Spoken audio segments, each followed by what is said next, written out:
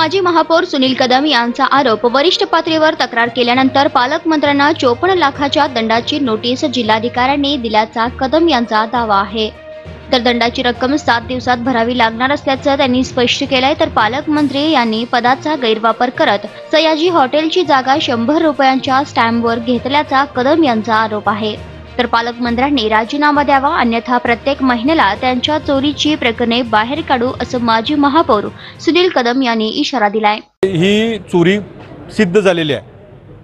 त्यानंतर त्याच्यावरती दोन टक्के दंड लागलेला आहे. म्हणजे हे चोपन्न चोपन्न लाखावरती गेलेलं आहे. झाली. ती साधारण किती लाखांची चोरी झाली मुद्रांक म्हणजे प्रा- तुम्ही जे प्राथमिक हे केलं त्यामध्ये यांनी जी काही मुद्रांक चुकवला तो अठरा लाख रुपये चुकवला. म्हणजे अठरा लाखाच्या मुद्रांकाची चोरी केली आणि त्यानंतर आम्हाला हा प्रकार लक्षात आल्यानंतर आम्ही पाठपुरावा केल्यानंतर ते अठरा लाख प्लस दंड असं मिळून त्यांना चोपन्न लाखाची नोटीस आलेली आहे. असा असा स्पेसिफिक उल्लेख येऊ देत याच्यामध्ये आम्ही पाठपुरावा करत असताना हे कुणाच्याही लक्षात आलं नव्हतं.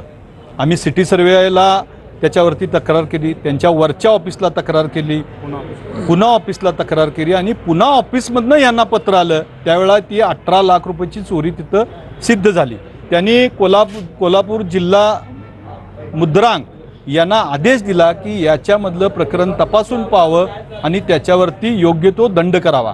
तर त्यांनी तपासत असताना ते अठरा लाख रुपये त्याच्यामध्ये दिसलं. त्यांनी मुद्रांक चोरी केलेला त्याच्यावरती दोन टक्क्यानं दंड केला असे चोपन्न लाख रुपये त्यांच्यावरती दंडाची रक्कम आकारली गेली. त्यामुळं त्यांची चोरी सिद्ध झालेली आहे. पालकमंत्र्यांना सतेज पाटलांना माझं आव्हान आहे त्यांनी आता राजीनामा द्यावा एवढंच माझं त्यांना विनंती आहे. नाहीतर याच्या पुढचं माझं पाऊल असेल हे सतेज पाटलांच्या सर्व चोऱ्या प्रत्येक महिन्याला तुम्हाला दाखवू.